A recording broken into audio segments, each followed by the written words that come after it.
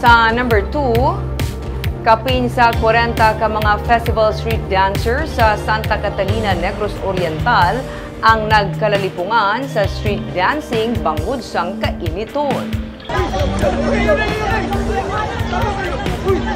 Sa video nga kuha ni Julia Arhilio, makita nga ginatabangan ang pila ka mga dancers sa dalan samtang nagapadayon ang parada. Ginadala pahigad ka ginapahuway ang uh, nagkalalipungan nga dancers nga upod sa street dancing competition sa Pacol Festival sa Santa Catalina Negros Oriental sang Miyerkules bilang pagsaulog sang kapistahan ni Santa Catalina de Alejandria. Mga alas dos ang hapon nagsugod ang parada kag nagdangat sa 41 tubtub 42 degrees Celsius ang temperatura sang amo nga adlaw.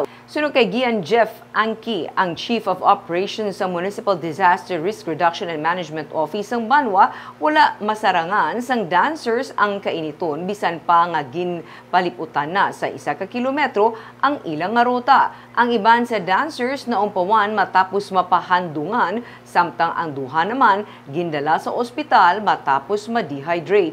Magluwa sa dancers may mga nagalantaw man nga nagkalalipungan bangod sang init. Gani plano sang LGU nga magpatuman sang bag-o nga guidelines kasubong sang pag-idog sa activities sa oras nga wala na sang init.